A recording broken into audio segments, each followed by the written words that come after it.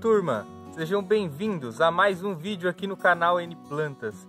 E esse vídeo tá muito especial hoje. Eu também estou muito feliz que você está aqui, dando a sua audiência para o nosso canal e para o nosso vídeo, porque hoje você vai ver a manutenção, o manuseio da espada do São Jorge, que é essa planta maravilhosa aqui, e a gente vai fazer o manuseio muito simples nela, mas que você vai vendo o nosso vídeo destravar aquele medo que você tem de colocar a mão na terra da sua planta, de tirar a sua planta do local que ela já está, de fazer o manuseio da sua planta.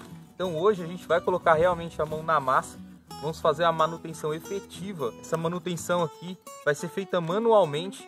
Nessa planta aqui a gente vai separar essas mudas que já estão enchendo bastante esse saquinho. Então a gente vai precisar fazer a separação dessa muda e esse saco já começou até rasgar aqui, abrir novos furos essas mudas. E elas estão começando a ficar danificadas num local tão pequeno, tá vendo? Mas antes da gente continuar esse vídeo, deixa o seu like, no joinha, compartilhe esse vídeo no grupo dos amigos, de família, nos seus grupos de plantas, com todo mundo para eles verem o manuseio, como é simples manusear essa planta maravilhosa aqui. E se você conhece alguém que tem essa planta, manda esse vídeo para ela, para essa pessoa aprender como que a gente pode fazer um manuseio maravilhoso com essa planta aqui, tá bom? E muito importante também, para você não perder todos os vídeos, todos os dias, aqui no canal N Planta, é muito importante que você ative o sininho de notificações para você sempre ser notificado pelo próprio YouTube gratuitamente quando a gente colocar um vídeo novo aqui no canal N Plantas. Então já confere, por favor, preciso muito que você confira se já deixou o seu like e se já se inscreveu nesse canal para ajudar o canal a entregar esse vídeo, esses vídeos sobre a natureza para mais pessoas transformar mais vidas. Vamos lá para o manuseio dessa linda planta. Esse saquinho, pessoal, já começou a rasgar. Eu não vou reutilizar esse saquinho, ele é descartável, tá? Mas alguns, quando não estão muito danificados, a gente reutiliza também aqui. Então, o que, que eu vou fazer? Já vou abrir ele aqui, ó. Porque provavelmente vai ter mais raízes do que terra aqui. Tem bastante planta aqui. São várias mudas estão aqui nesse saquinho foram se formando aqui do, no decorrer do tempo. Olha como você pode ver, já foi até furando aqui, ó. É novas mudas nascendo e a força da planta tá rasgando o saquinho, é isso mesmo. A gente precisa fazer uma intervenção, a gente precisa vir corrigir o crescimento dessa planta e trazer um local apropriado para elas. Que agora já não é mais ela, né? São várias plantas. E olha, como você pode ver, tá lotado mesmo de raízes. O que a gente vai fazer é tentar identificar muda por muda aqui e separar essas mudas, danificando o mínimo possível as raízes dessa planta, ok? Então a gente vai começar aqui já tirando essa terra, né?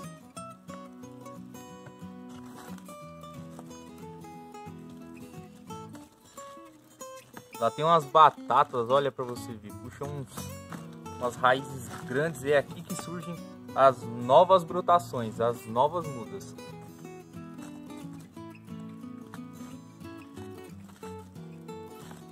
Bastante cuidado, você vai colocando o dedo assim, ó, entre as raízes. Vai tirando o excesso de terra, para você conseguir visualizar a situação e individualmente também, cada muda, quais são as raízes dela, né?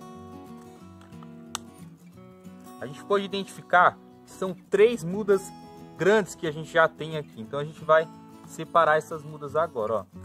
Tá vendo? Elas vão separar quase que sozinhas aqui, porque elas já estão bem individuais. Ó. Uma muda, duas mudas.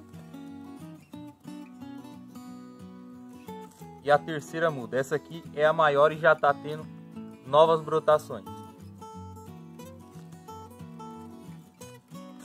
Ó. Novas brotações. Está carregado. Olha como parece uma batatona. Parece até uma cenoura aqui. A raiz dela aqui. Essa parte que fica dentro da terra. E agora a gente vai pegar o recipiente para a gente plantar e a gente vai mostrar como que a gente planta facilmente essa planta aqui, ó, e as dicas de você plantar ela para ela reproduzir mais rápido. Eu já tenho aqui dois saquinhos prontos para a gente plantar essas mudas novas. E como você pode ver, a gente vai utilizar um substrato muito bom, porque é um substrato bem aerado, ele é bem poroso mesmo, então ele vai segurar pouca umidade e vai ter um escoamento bem legal. É esse tipo de substrato que eu gosto de utilizar para essa planta, para a gente não deixar ela muito encharcada. Então vamos lá plantar agora essas mudas dentro do saquinho. Vai começar com essa muda maior, pessoal, porque ela tem várias brotações e eu vou mostrar para vocês como que você pode plantar ela, vai colocar ela dentro desse saquinho, inclusive esse saquinho, ele é provisório, certo? O que eu tô vendo aqui, pessoal, é que essa muda maior, ela tá tão grande que não vai caber nesse saquinho por, pela largura dele. Então eu vou deixar essa aqui separada e depois eu vou plantar ela em um vaso ou um saquinho maior. A gente vai começar então com essas pequenininhas, a gente já vai plantando elas aqui porque dá o tamanho aqui bem legal para ela conseguir sobreviver durante mais um tempo aí. Até ela ir para o local definitivo dela, que vai ser o vaso ou vai ser quintal, que ela vai ser plantada, tá bom?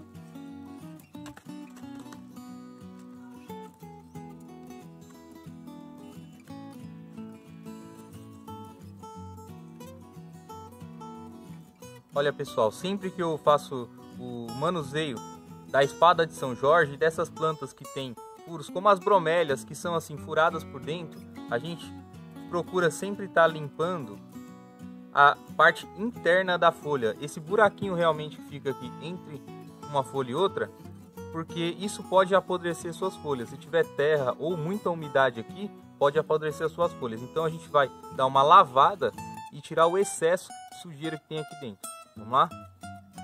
Olha que legal, pessoal. Eu lavei é, a parte interna aqui e aproveitei e lavei as folhas. E olha que beleza que já ficou essas folhas. Eu nem esperava que ela ia ficar tão linda. Então já dei um grau aqui nessa planta, ela tá bem mais bonita. Apesar das folhas dessa muda aqui tá bastante danificada, vai surgir novas folhas no novo local dela aqui que vai trazer de novo a beleza intensa que essa planta tem. Então vamos pro plantio, pessoal. Já tenho aqui a terra preparada, vou com um espacinho já deixar essa planta aqui e agora eu vou cobrir a lateral dela aqui, ó. Evitando de jogar essa terra, esse substrato, dentro do buraquinho que eu acabei de lavar, dentro desse espaço entre as folhas. Então a gente vai com bastante cuidado e vamos preenchendo esse saquinho aqui, ó.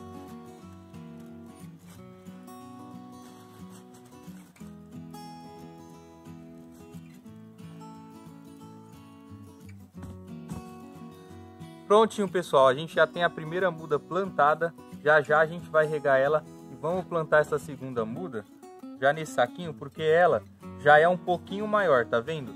Ela tem esses brotos laterais. Então o que, que a gente vai fazer? Para estimular o crescimento desses novos brotos, para eles virarem muda facilmente, a gente vai colocar ela bem no cantinho aqui, ó, do saquinho e deixar ele com espaço deitado aqui, ó, mais próximo à superfície da terra. Assim, tá vendo? Então a gente vai plantar dessa forma. Eu já vou até descer as raízes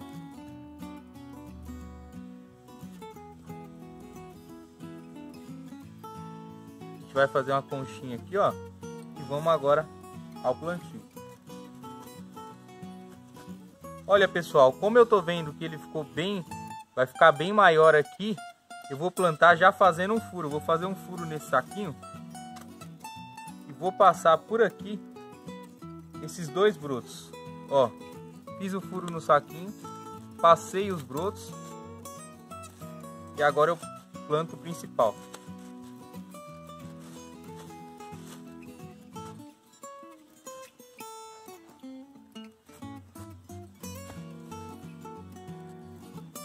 prontinho, pessoal. Já plantei. A gente tem dois brotos para fora do saquinho aqui que vão gerar novas brotações, novas mudas aqui do lado. E a gente tem o principal. E as raízes vão estar sempre dentro do substrato aqui para trazer os nutrientes dessa planta. E hoje a gente trouxe para você então o plantio e reprodução dessa linda planta chamada espada de São Jorge, que está na família da lança de São Jorge, da língua de sogra várias outras plantas maravilhosas aí que servem para decorar a sua casa e o seu quintal. Se você gosta desse vídeo de planta e quer ajudar o canal N Plantas, deixa o seu like e lembre-se de compartilhar esse vídeo. O maior número de pessoas eles verem como é maravilhoso o mundo de plantas que a gente pode ter dentro da nossa casa, apartamento, quintal, na nossa vida, tá bom? Beijo no seu coração e até o próximo vídeo que a gente está deixando sugerido para você assistir do nosso canal.